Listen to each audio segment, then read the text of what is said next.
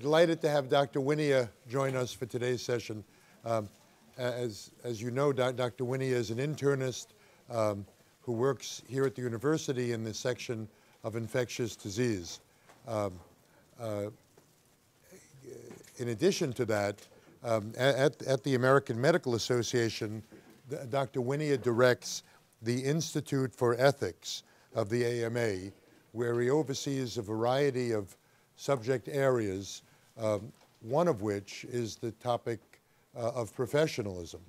And um, uh, Dr. Wynia uh, got his um, MD degree at the Oregon Health Sciences University, did his residency in Boston at the Deaconess, uh, his ID fellowship at Tufts, and then had a Master's of Public Health from the Harvard School of Public Health. Today, uh, Dr. Wynia will speak on uh, a topic that really fascinates me, um, the short history and tenuous future of medical professionalism. Whither professional associations and why? Matt, welcome. Uh, I do want to. I do want to point point out that it's it's wither with an H, not like. Anyways, it, it's, um, it's very hard. Whither. To, it's hard to pronounce it differently. Yes. um, Whither. So, uh, I'm really honored to be here, and I'm uh, deeply distressed that I haven't been able to come to all of the other of these seminars because the, the folks who've already spoken to you are such an illustrious crowd um, that I am really intimidated um, and I wish I you know, could be able to stand up and say, well, as you've heard, um, I'm gonna, I am going to make some assumptions based on who has spoken so far and go through um, some, of, some of this talk kind of quickly. But I, I want to start with, um, I guess I'll, I'll start with the fact that um, there's, you know, a, a, an ongoing debate uh, in the field right now about whether professionalism is important and an exalted status or whether physicians are um, more along the lines here where the girl is saying, okay, you be the doctor, I'll be the secretary of the HHS. Um, and, and, and that's kind of the outline of, of what I'm going to talk about is that tension about what is the role of the physician as a medical professional. What does it mean to be a professional in society? Um, and, and, and I'm going to give you my own definition of what I actually think professionalism uh, means. And I think there's really only two sort of take-home messages. So if you have to leave, um, I'll give you those right now. Um, one of those is that professionalism, like other isms, capitalism, socialism, uh, Catholicism, it's an ideology about how best to organize a good or a service in society. And so that's, that's going to be message number one. And message number two is we have in front of us a very important discussion about what professional autonomy means in that regard. Does professional autonomy mean the right or the liberty of any individual doctor to establish their own practice standards and do what they want without meaningful social oversight, hang a shingle and, and start up? Or does professional autonomy entail a set of group processes where the group establishes standards and then enforces those standards for practice? And that's a, it, it's an individual liberty versus uh, communitarian orientation. Um, debate that is still ongoing. And you heard it last night in the President's State of the Union and the, and the you know, Republican responses. So this isn't just happening within our profession, it's happening in a much larger framing as well. Um, but I'm going to talk about it within our profession. Um, let me start with a disclaimer, and my disclaimer actually, uh, I think, needs to go just a, a little beyond this. Um, in eighth grade, I wrote a paper for my social studies class called um, The Unholy Alliance Between the American Medical Association and the Tobacco Industry. and in order to write this paper, I visited with uh, a, a, former senator from the state of Oregon. Uh, I lived in Oregon at the time. Uh, Maurine Neuberger, one of the first uh, female senators ever, uh, actually, and she was uh, an icon in Oregon, and she was very elderly at the time, but she consented to, to interview with me as, a, as an eighth grade student, and it was a really formative experience. I, I also read a series that had been done in Mother Jones about the AMA, and you can imagine, if anyone knows what Mother Jones is anymore, what that looked like. Um, and so I, I, say this because um, that's the background that brought me into medical school.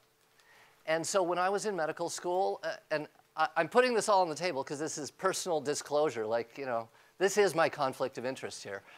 Um, I walked into medical school and immediately uh, was in, you know, the first year that Physicians for Human Rights formed, I was a member. Um, I was on the board of trustees uh, for the uh, Physicians for Social Responsibility. Uh, I've been a member of Physicians for National Health Plan since the day it was founded. Um, so I'm liberal. And um, and so I walked into medical school and I went through medical school and I went into residency as what I would now call a conscientious non member of the AMA, which is to say, I didn't just neglect to sign up. I would not join the AMA because I thought that organization did not represent the values that I thought were most important in medicine. I thought that organization did not pursue the aspects of medicine that were most important to me and, frankly, for all of society.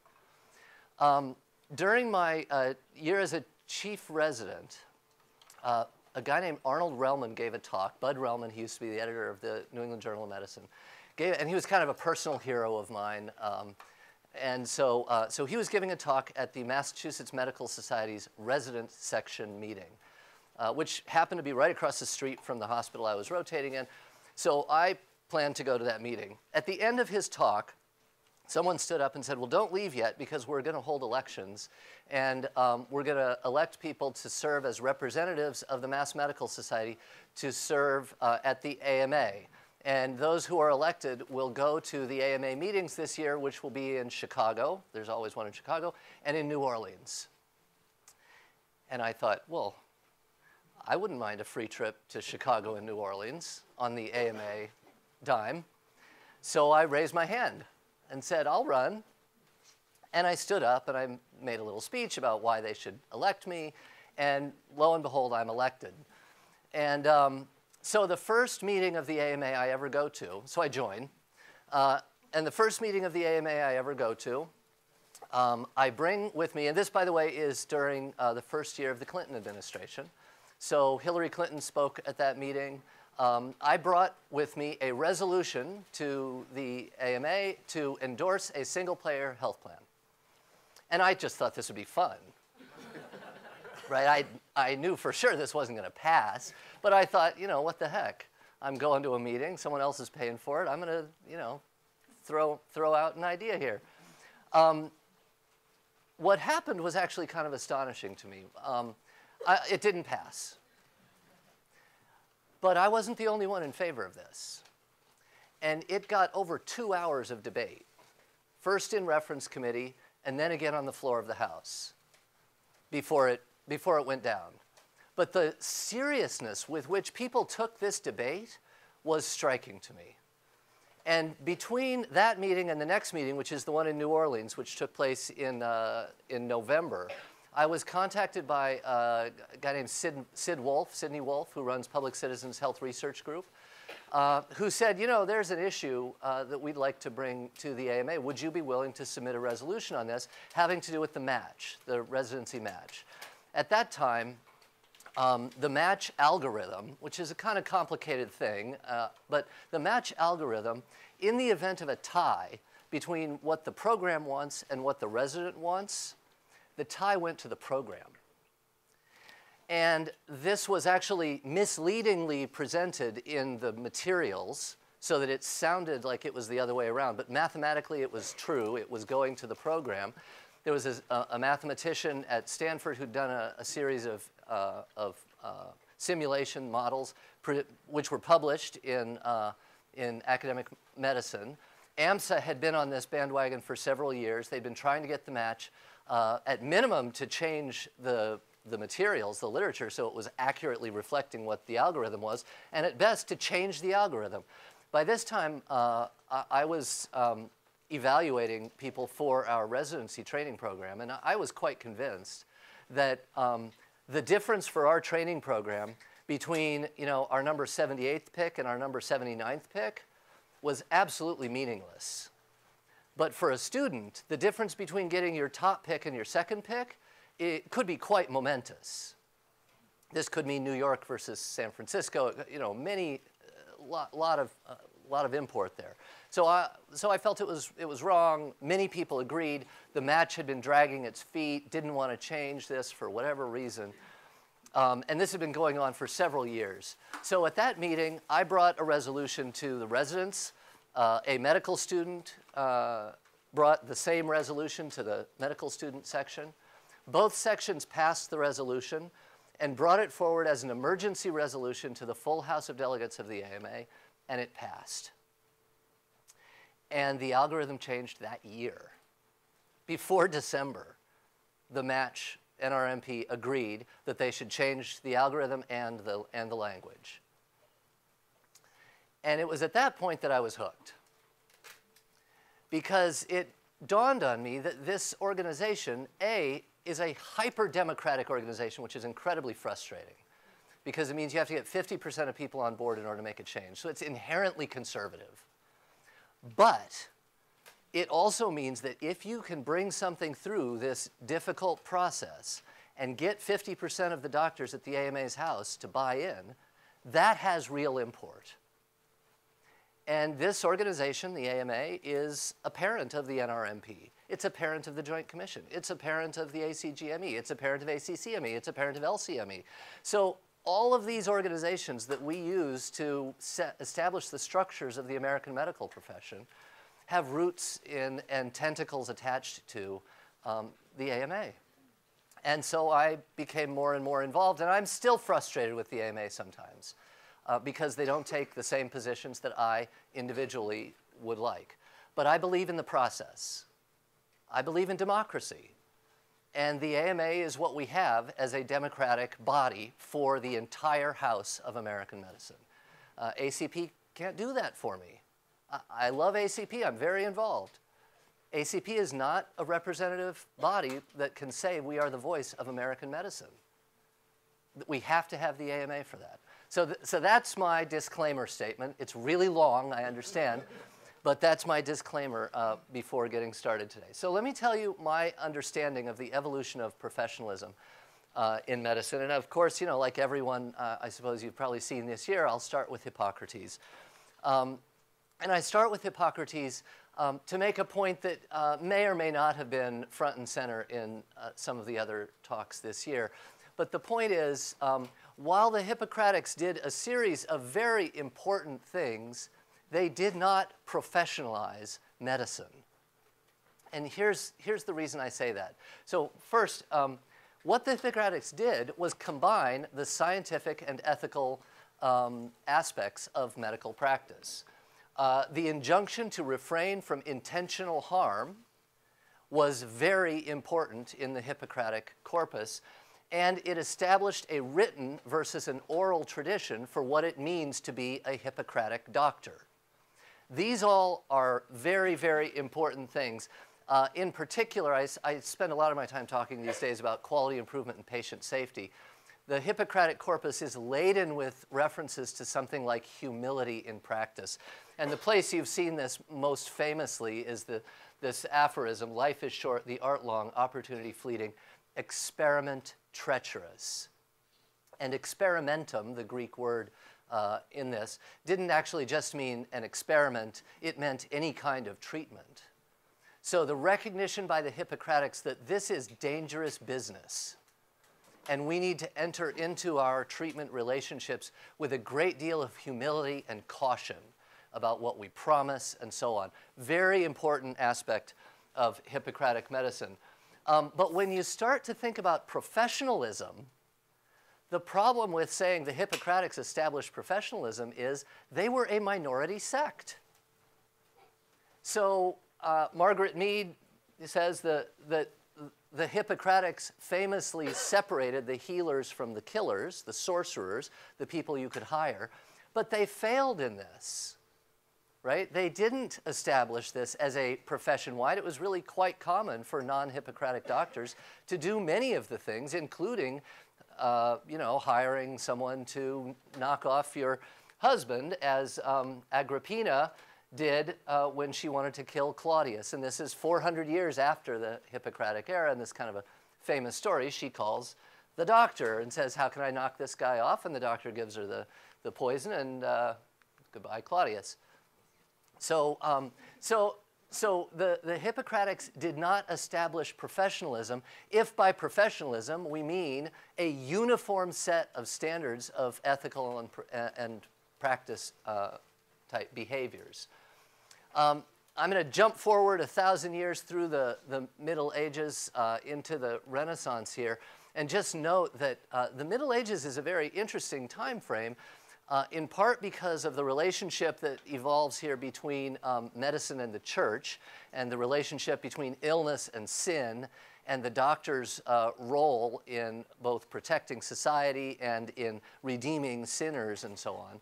Um, but it's also interesting because of um, the loss, in one sense, of something that was really core to the Hippocratics, which was curiosity and humility in the sense of not knowing whether the way you're doing things is the best way. So a learning oriented humility is actually kind of lost during the. Um, during the, the era of the, uh, of the, the Middle Ages.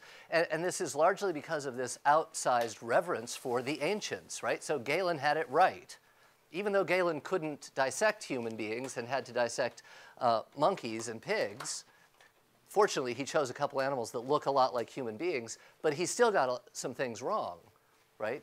Humors don't work the way he thought they did. The blood doesn't work the way he thought, the heart, and so on. Um, but I, I, love this uh, anatomy lesson in part because uh, this is 1632, but look at where all of their eyes are. No one is actually looking at the body they're all looking at the text, which is kind of illustrative of this time frame up until uh, the Renaissance, that people revered the masters and thought they got it right, and even went so far as when they found something that contradicted what was in the uh, Galen's text, they would try and figure, they would say, well, this is an abnormal specimen, obviously, that kind of thing.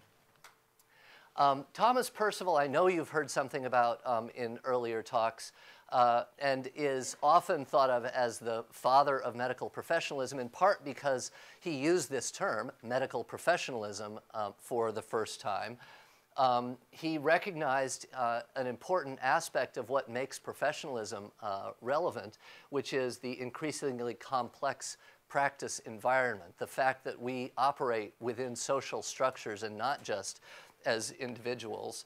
Um, he invented uh, the inverse hierarchical method that we still use today in medical rounds, where the lowest person on the totem pole gives the story first. It's then checked by the resident or the fellow, and then so it goes sort of up the chain, um, if you will. And that's basically what he described as still the way rounds are often conducted.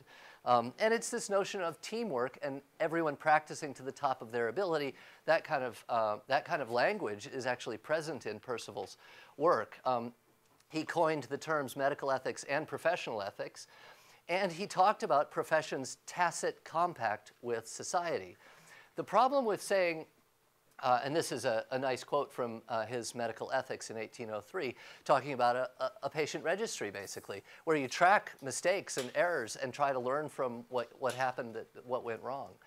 The problem with dating medical professionalism to Percival is that, like the Hippocratics, he failed in getting his entire profession to adopt his code. He actually brought his code to the British medical establishment, who rejected it they explicitly said, we don't want no code ethics. Well, they may not have used exactly that language, but, but they explicitly said, we do not need a code of ethics because doctors are gentlemen. We are virtuous individuals, and a code of ethics, and this is a, a quote actually, a code of ethics is useful only to those who lack decent moral character and wish to pretend they have one. So it's a guidebook for someone who is deeply immoral to know how to act as though they're moral. So we don't want that. It's, uh, it is disparaging on us as, as doctors to think that we might need a code of ethics. And in fact, it would be uh, counterproductive as a, social, as a social construct because it might allow people to fake it when in fact they are not uh, virtuous and shouldn't be members of the group. Uh, so have a seat, Kermit. What I'm about to tell you might come as a big shock. This next slide is, uh, is the the shocker uh, for many audiences. Now, I've given you a lot of background about why I already believe this, but the AMA created medical professionalism. And I know that sounds like a really outlandish statement, but the AMA essentially adopted Percival's work, verbatim in many instances. The entire of medical ethics can be found, his book, Medical Ethics, can be found in the original AMA Code of Medical Ethics of 1847. Um, what was different is the AMA succeeded. Where Percival had failed, the AMA got most, if not all, over the next 50 years, doctors to sign on to this code of medical ethics and to agree that these are the professional standards that govern what it means to be a doctor. So this tacit compact becomes an explicit social contract with the creation and adoption of the AMA's Code of Medical Ethics. So it's an explicit set of reciprocal obligations between doctors and patients. So it has three chapters. The first chapter is on the patient, on the doctor's responsibilities to patients and patients' responsibilities to their doctors. And it's set up that way. Second chapter on doctors' responsibilities to each other. Again, reciprocity, very simple philosophical framing here. And then third is on the doctor's responsibilities to the community and the community's responsibility to the doctors. And this is where you see things like it's the physician's responsibility to stick around during epidemics, even without regard to personal threat and without regard to remuneration. So we see um, an explicit social contract created and adopted, and to one degree or another, enforced. And I'll come back to that uh, in just a moment because this is the point at which I want to I want to give you my definition of professionalism. There are a number of really wonderful uh, definitions of professionalism uh, that that I've seen over the years. I'll show a few a few of these. Uh, Dean Roscoe Pound, a group of men, one could say women, uh, pursuing a learned art as a common calling in the spirit of public service, and no less a public service because it may incidentally be a means of livelihood. A nice list of the criteria by which one might judge whether a profession exists. Similarly, uh, Louis Brandeis, an occupation for which the necessary training is intellectual in character, involving knowledge and learning and distinguished from mere skill, pursued largely for others, not merely for oneself, etc. Um, Herb Swick, one of my favorites and one of the simplest. Uh, professionalism consists of those behaviors, so he doesn't list them out, but he says instead what they're point is, what's the purpose of these behaviors, uh, uh, these promises essentially. Um, they are ways that we demonstrate we are worthy of the trust bestowed on us by our patients and the public. Um, and here's the one I'm sure you've all seen, which is the uh, Medical Professionalism Project um, definition, uh, the, the, Professionalism Charter, uh, as it's become known, which has the three principles and 10 commitments, my favorite of which is number 10, the garbage bag of everything else we think is important. Um, setting that aside, all of these definitions of professionalism, I think, have one um, problem. And that problem is these are all approaches to defining professionalism that are based on making a list of the criteria. And if you can check off these four criteria, you have a, a profession. And if you can't, then you don't. Um, so they are uh, in that respect, good. They, they comprise a list of the shared promises of health professionals. But they are not professionalism as such. So let me, let me go to the next slide here and just walk you through, and, and you're going to think this is way too simple um, when, when I'm done. But professionalism starts with profess, which means to speak. So to profess is to speak out in public. So I profess my love to my wife at the time of our marriage. Uh, a professor is someone who stands in front of a, a, classroom and speaks, presumably with some degree of, of knowledge, um, but it's an open declaration of something, is a profession. So a, a profession is a group of people speaking out together uh, about their shared standards and values. And professional is, as a noun, that would be a member of this group. And the other way we use this is as an adjective. So something is or is not professional if it is in conformance with the explicitly stated standards and values of the profession. That's what makes something professional or unprofessional, is whether it matches up with the profession's stated standards and values. Professionalism is an ism. I mentioned before, you can think of any number of isms. They're ideologies. Professionalism is the ideology which says the best way to organize healthcare is to entrust at least certain aspects of it to professionals who will make promises about what you can expect, and they will make sure that those promises are lived up to. And that's a good way to organize medical care. It's a belief system about how best to organize medical care by authorizing a professional group to have a great deal of power in how that service good is delivered and uh, allocated in society. Um, so it is a set of promises, but it is really the belief that making those promises and living up to them is important and why it's important, right? So, um, so let me talk now for a moment. This is, this is not all, you know, obviously my own thinking.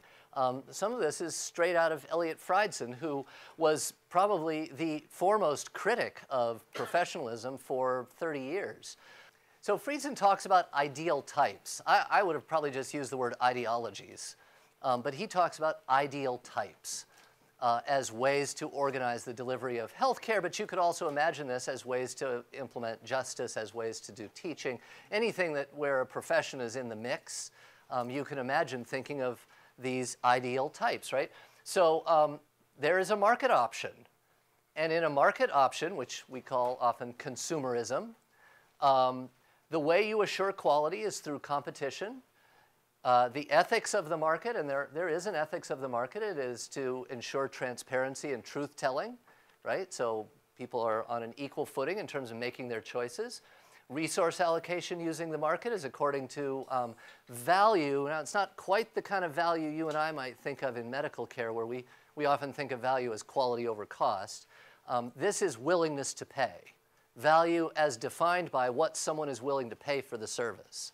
So value can be quite different from one person to another, but that's how markets allocate resources, is according to value as defined by willingness to pay. And healthcare in this conceptualization, in this ideal type, is a normal good, just like shoes and paper clips and computers and any number of other uh, goods and services. You could also imagine medicine being delivered by the state. This is called socialism, uh, maybe communism. Uh, and here you've got regulation as the way in which you ensure quality. You've got an ethics that emphasizes equity across all of society, right? And these are ideal types. I'm not saying any of this plays out exactly as stated, but this is the ideal. This is the ideology that I'm describing. Um, the resource allocation is, in its ideal form, supposed to optimize benefit across society. Uh, and healthcare here is seen as a common good, more like the environment or the transportation infrastructure or national defense. It's something that affects all of us and where all of us participate in decisions about how to use the resources and, and so on. And then there's professionalism. In professionalism, quality assurance is not through state regulation nor through competition. Uh, I'll make quick note of this. Um, in professionalism, we share all our knowledge. We don't have trade secrets. We don't have a secret sauce. We're not allowed to. If we learn something new that helps us to do things better, we publish that. That's an ethical responsibility. So we can't have trade secrets and still say we are a medical profession. So we ensure quality through collegial review.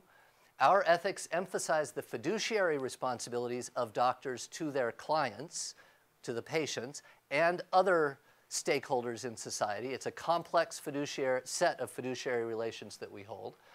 And resource allocation is derived from these fiduciary obligations and it balances individual and social needs. So the profession is empowered to make resource allocation decisions that take into account both the needs of the individual patient and stewardship of society's limited resources. So we're given the power to write someone a note to get them out of work. And we are trusted to use that power in a responsible way. So I am not allowed by my professional ethics to write someone a note to get out of work um, if it's not a health related issue and they don't really need to get out of work. Just because they come in and say, I'd, I would pay you $200 for a note, I can't do that because I have responsibilities, not just to that patient, but larger social responsibilities as well. So it's that complex balancing of responsibilities, and healthcare here is seen as a service. So it's not exactly a common good. It's definitely also not exactly a normal good. It's, it's a service um, good. Now, the reality, of course, is that we use all three of these models all the time. They're all mixed up in the real world. So here, just thinking about, whoops, just thinking about um, quality improvement or patient safety, uh, we use peer review, we use ethics and socialization, these are professional methods to ensure the quality of care we, we deliver. We also use um, delivery of information to patients through quality monitoring and quality measurement and public reporting. These are methods of consumerism, allowing consumers to exit uh, from those providers that they don't want to, that, that are not providing a good quality care uh, by their lights. And we use things like licensure, malpractice litigation, which are fundamentally political and, and state mechanisms to ensure quality. But it's also a nice way to see that these all even get mixed up. So malpractice cases are often contingent on a professional standard of care. Um, licensure boards in many states have on the board a number of doctors, often from the state medical society. The state medical society appoints people to the licensing board in many states. So these, even trying to separate these out like this gets complicated because these are, uh, well, as I've got here, this is a balancing act about how to organize and deliver medical care. There is an important, uh, there's an important role profe for professionalism, but statism and marketisms also come into play.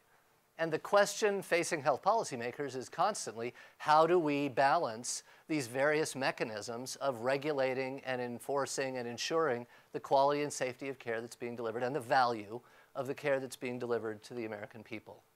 Uh, I put up this, uh, this other quote, which uh, I assume you'll get more of next week, but um, Freidson, uh, later in his career, actually um, became much less of a critic of professionalism and, in fact, uh, became something of a, of a promoter of professionalism. Once he started thinking through, and I'm projecting now. But once I think he started really thinking through what would it mean to have a medical care system that was governed by the state or governed by the free market? And would either of those work as well as one that has a primary role for professionalism? Because it's not a matter of establishing a perfect system here. It's not like you can establish one system based on one ideology and it's going to work perfectly. All of these have weaknesses. And the question again is this balancing act. So um, this raises the, the point that there are inherent tensions. So I'm not going to talk anymore about state and market. I'm now just going to sort of focus on professionalism for the last part of this.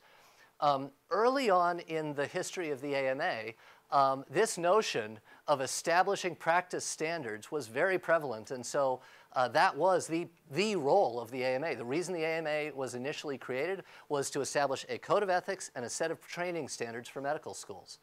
That's what brought the group together, was you know, out of control, unregulated um, medical schools that, and nostrums and quacks and all that kind of stuff, right? Uh, and it was created in a time when there were a number of other um, competing ways of delivering medical care. Homeopathy uh, was very prevalent, Thomsonians, eclectics, uh, and so on. So there was also a sense of uh, what I'll call professional closure. That's the sociological kind of term or economic term, I guess. Um, there was a sense of wanting to clearly define what a scientific practitioner looked like and what they promised to society. Um, so you've got, on the one hand, a series of committees setting increasingly stringent quality standards. On the other hand, the AMA code uh, for a long, long time said, you know, these are really important, but there's really no real tribunal other than your own judgment as to whether you're adhering to all of these, which uh, always makes me think of this great line from the Pirates of the Caribbean that the code is more what you call guidelines than actual rules. Um, and that, that tension still exists in spades um, within the profession. The degree to which we are willing to set standards and ensure that we all are living up to those standards. to say nothing of what other people get to do, can we make sure within our club that we're all living up to the standards we've established and what standards are we capable of establishing and then enforcing in some meaningful way. Uh, this is just an example, and I'm sure many of you know uh, this face. This is Ernest Codman. Um, Codman is uh, often called the father of modern quality improvement. Uh, he said that every hospital should follow every patient it treats long enough to determine whether the treatment's been successful and to inquire, if not, why not, with a view to preventing similar failures in the future. This was uh, not really a new paradigm, but it, had, but it was at that time even called a new paradigm for medicine. It reflects the Hippocratic beliefs. It reflects Percivalian beliefs. It reflects others, uh, Thomas Bard uh, and a number of others before him. Um, but the important thing is um, he tried to actually implement this at Mass General Hospital and was basically fired because he said we should track the outcomes of the doctors here, and those with bad outcomes uh, should not get promoted. And people didn't like that. And I, I don't have to tell you all the various reasons why people might not have liked that idea, but that is the basic tension of facing our profession still today. Um, and it reflects in a, in a deeper way this question about the science and the art of medical practice. Um, this is the prevalent view in the progressive era, so the late 1800s, early 1900s, when the belief was that science was on the ascendance and it was going to be possible to define good practice and to monitor whether good practice was taking place and that we knew how to cure people. And, and this is John Musser, president of the AMA, in his acceptance speech, saying, with the incoming of scientific precision, this is we have uh, stethoscopes, we have uh, sphygmomanometers, we're checking blood for glucose, we're doing uh, CBCs at this point, there are tests for syphilis, right? So lots of science now. Um, uh, setting up a doctor's office radically changes between 1850 and 1900. You need not only more books, but you need a microscope, you need equipment, you need tools. So it becomes much more expensive to become a doctor. Uh, all of this has ramifications uh, for the role of the, uh, of the association uh, representing doctors and setting standards for them. So I mentioned all of these uh, committees that were established. In medical education, um, the AMA, and this is a little known uh, fact because the AMA didn't want it known, but I'll tell you now because it's 100 years later. so the secret is out. The AMA actually asked for the Flexner report. Um, the AMA's Committee on Medical Education, uh, renamed the Council on Medical Education in 1904, had already been doing exactly the same thing that Flexner did. Traveling, visiting the medical schools, they had a set of criteria. They were ranking medical schools, um, and they were being beaten up by the medical schools for having, um, well, for seeking professional closure, for trying to close medical schools, trying to reduce the number of doctors, increasing salaries for doctors, all of that stuff. Um, and so they weren't seen as an honest broker. And so they went to the Carnegie Foundation and said, Would you be willing to sponsor an independent assessment? The chair of the Council on Medical Education went with Flexner as far as we can tell, on every single one of his site visits. And Flexner wrote the report here in Chicago at the AMA headquarters. But this was all agreed in advance that it would not come out as an AMA report. It would come out as a Flexner, as the Carnegie Foundation's report.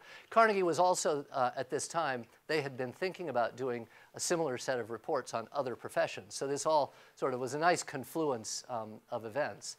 Um, food and drug safety. Uh, the AMA is a, a, major proponent for the Pure Food and Drug Act of uh, 1906 uh, and subsequently a series of amendments. Um, the Council on Pharmacy and Chemistry uh, prints out, there's a very famous series of essays in Collier's um, about food and drug safety uh, that they distribute to basically every doctor in the country. Uh, and this tension is very common at this time. It's true with uh, vaccinations as well, by the way. Uh, the AMA is really paternalistic in this era. Uh, the progressive era is one in which we believe as a profession um, that if we come together and decide that something is the right way to go, we should enforce that. So mandatory vaccinations, that kind of stuff, we're very much behind uh, in this time frame. It also raises these questions about professional self-interest. And you can imagine, you know, the folks uh, in the community saying, wait a minute, the reason you want mandatory vaccinations is because we have to go to your office and pay you to get a vaccination. So you're just trying to drum up business.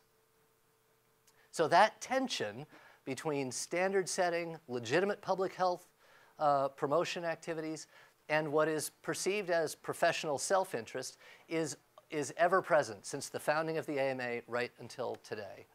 Um, now, scientific medicine works, right? And I don't have to, I don't have to prove this to all of you, but scientific advances were really, really important. And this is you know, obviously well before the development of antibiotics, much of this takes place. Because of public health interventions, the germ theory of disease really pays off.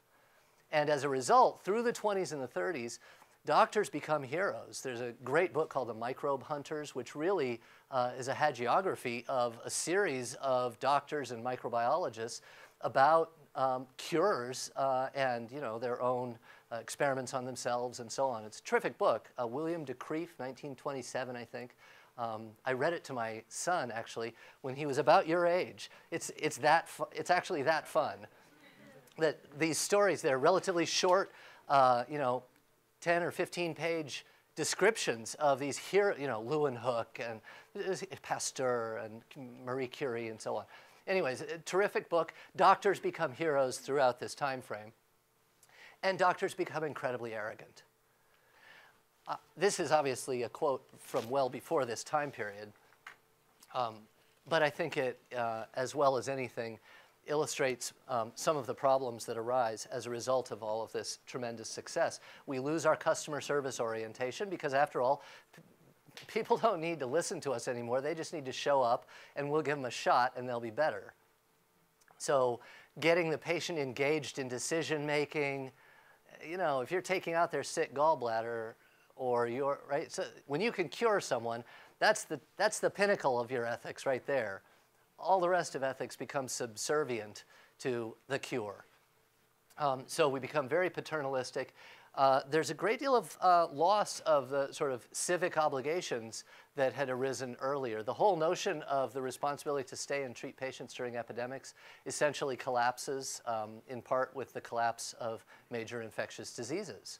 Uh, the, when it's actually removed from the Code of Medical Ethics, which takes place in the, in, in the early 80s, actually, late 70s, early 80s, um, the statement that describes why we're taking this responsibility out of the code is that it has become anachronistic. Doctors taking care of patients during epidemics doesn't, isn't irrelevant these days because there aren't epidemics. Of course, you all know that 1983 is also when we start seeing AIDS, uh, which is a different talk.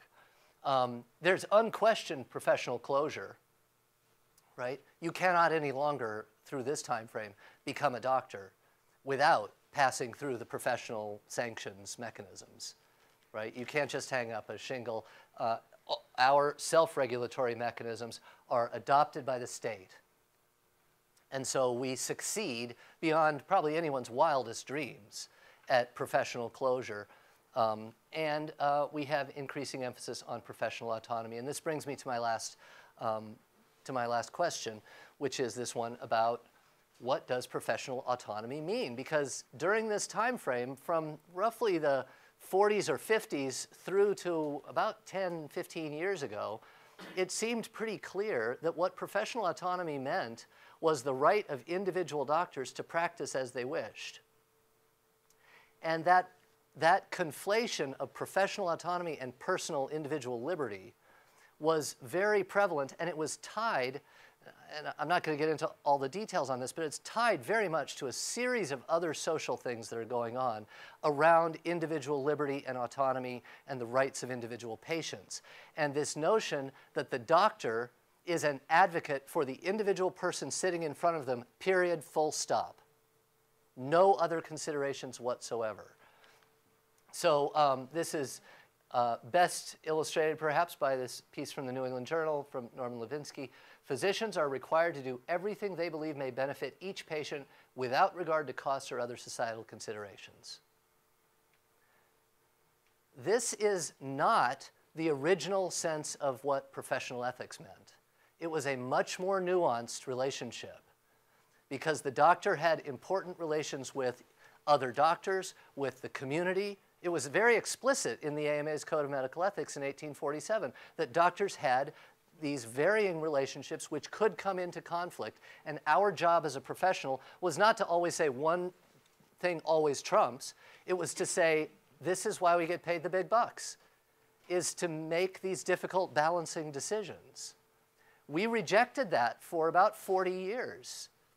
And the consequence of that is the, the adoption of this sort of zealous advocacy uh, agenda, what I would call lawyerly ethics, so now I'm no longer a doctor with, with medical ethics behind me. I'm acting more like just your advocate, Mr. Patient, Miss Patient. What has to happen if we do that? Because that doesn't function for all of society. That only works for here. Because, you know, I'm now going to have to establish some mechanism by which me as the advocate for you go into a system where there's an advocate for the other parties that are affected by my decision, and I don't get the final say in this anymore as the doctor. There has to be a judge, there has to be opposing counsel. That's why lawyerly ethics work for lawyers. Lawyerly ethics cannot work for doctors if we are also the judge. And we want to be the judge. And patients want us to be the judge. We want to be able to say, if I say that you need this, that's what's going to happen.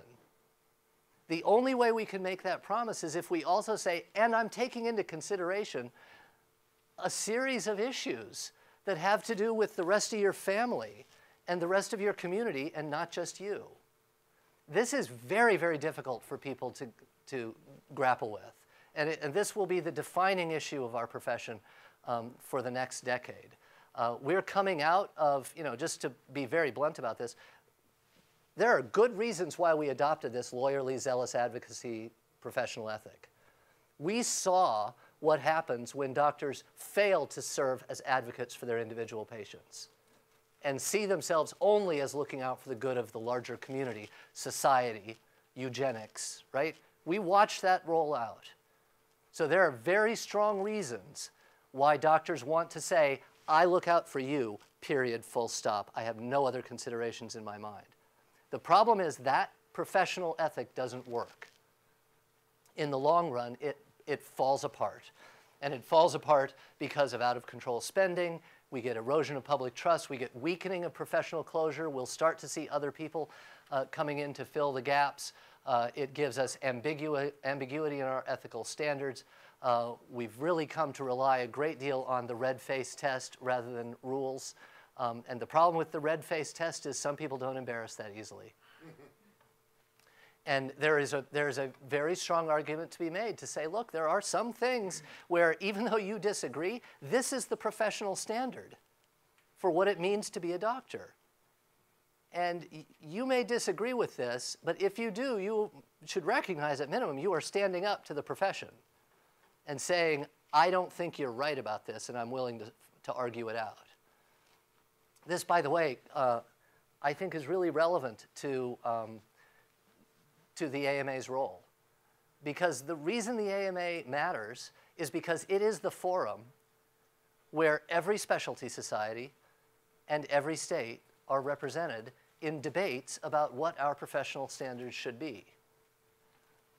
And so if you are a medical student and you say, well, I'm not a member of the AMA, I don't like the AMA, I don't adhere to their code of ethics, well, that's all fine, except that, you know, if you later in your career get brought in front of a judge, that judge is going to say, these are the professional standards. They were adopted by a representative body of doctors. So you better be prepared to explain why you chose not to follow the standard.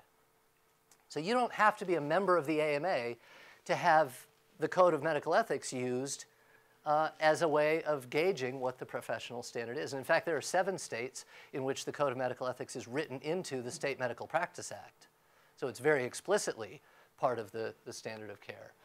Um, I'm, gonna, I'm actually going to stop uh, because I want, to, I want a couple minutes for, uh, for questions. And I'll, I'll just let you read this, but I think it's kind of obvious. If we don't have doctors who are engaged in the AMA, and by the way, most of you, whether you know it or not, are engaged in the AMA because you're a member of a society whether it's a state society or a specialty society, that has representatives in the AMA House of Delegates. So just speaking uh, as an individual here, not as a spokesman for, uh, for the AMA, I don't think it matters that much whether individual doctors join. Um, the AMA is an organization of organizations. It's really not, and it shouldn't be, an organization that is seeking to further the interests of every single, every single doctor who's a member. Our role is to ensure the trustworthiness of the medical profession, writ large. Now, I'm not saying you should drop your membership. I, I wish everyone were a member. It would be great. Um, but the AMA works not because it has a bunch of individual members. It works because it is a representative democratic body with representatives from all the states and all the specialties in one room fighting. And I will tell you, it is fighting about what it means to be a doctor. So, you know, for those who think the, uh, the, uh, the decision to endorse health system reform two years ago, uh, that was fought tooth and nail, and it was voted on, and it got better than half of the votes. That's why the AMA endorsed it. It wasn't some cabal. It was a bunch of conservative doctors, by the way, who voted to endorse and continue to support today the reforms that were put in place. And, and, you know, these are, these are smart people. I don't like all of them, but they're smart people. I don't agree with all of them, I should say. But they are smart and they are, they are by and large well intentioned and they take these issues very seriously. So the better we all can engage with them, uh, the better. And I'll, I'll, just, uh, I'll just end with two quotes. One from Osler, who was asked once by a medical student whether he should attend the state medical society meeting, saying, "What, what should I, what, why should I go? What will I get? What will I get out of it?" Osler said, "Do you think I go for what I can get out of it, or what I can put into it?" A little Kennedy-esque. Um, and if that doesn't convince you, I'll give you Plato, who said, "The punishment of wise men who refuse to participate in the affairs of government." is to live under the rule of unwise men. So if you don't like some decision the AMA is making or has made, you have only yourself to blame if you're not involved.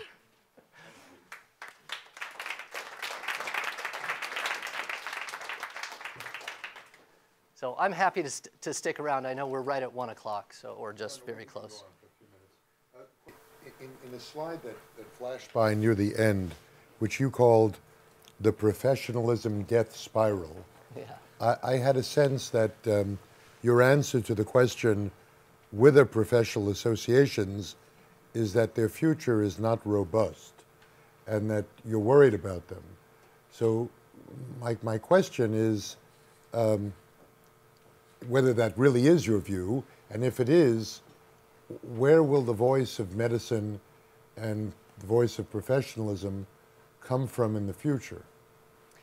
Well, I think what's happening right now, uh, because of the weakening of, in particular, the AMA, um, I, I can't say the same, by the way, is true of many of the specialty societies, which are doing well as far as memberships. So ACP has its highest membership in ever uh, last year.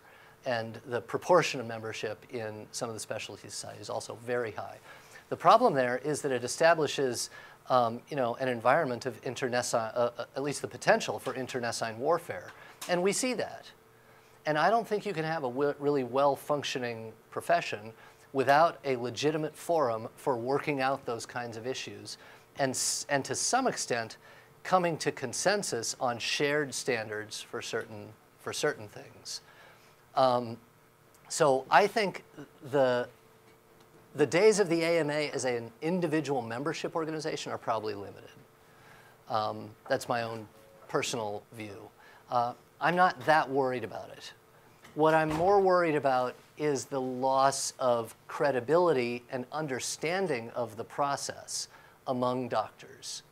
I think doctors need to know how the AMA works and be engaged in the functioning of the AMA in its role as a, as a voice for the medical profession. That doesn't mean everyone has to come to the meetings, but if you don't even know, you know who your representative is to the AMA House of Delegates from your specialty, if you've got a complaint, where are you going to go?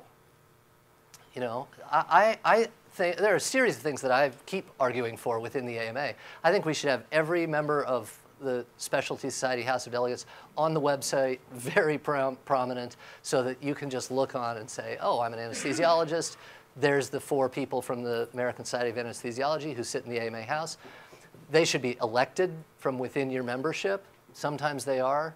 For some specialty societies, they're not. They're appointed by the board or appointed by the president. That it's an honorary kind of position. That, in my view, is the wrong way to do it. Um, this is a democratic body. We should, we should treat it that way and, and make sure people understand how it works. Matt, I'm uh, interested in the uh, roots of the advocacy uh, view of professionalism.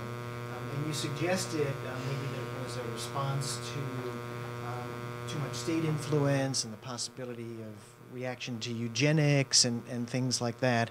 Um, and it seems to me if that were the case, it probably would have started 30s, 40s, 50s, maybe.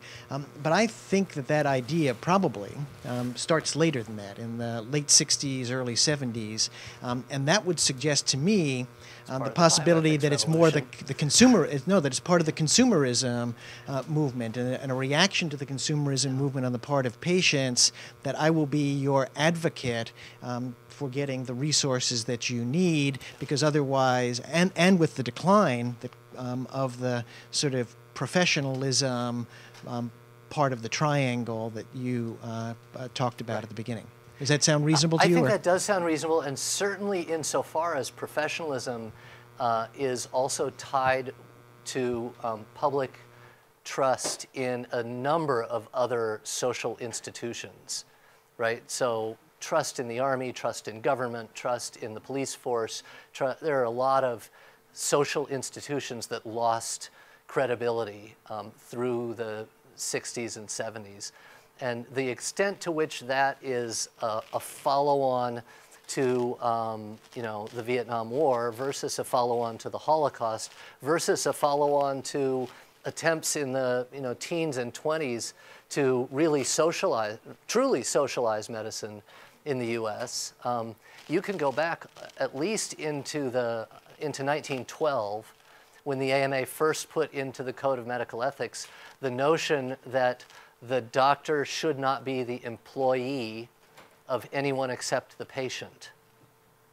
So group practices, Kaiser, those kinds of arrangements were seen as unethical because they pitted the doctor uh, against potentially the patient when some of these things came up. So, so in some ways, this tension is inherent and has always been present.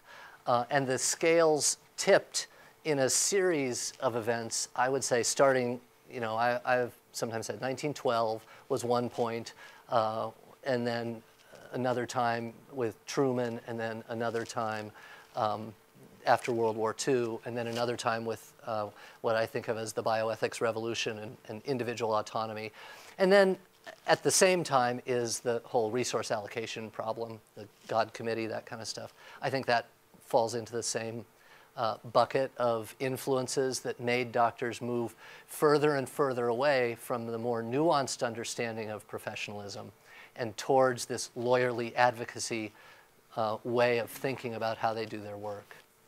One of the major potential strengths of the AMA is that it's the one nationally representative medical organization.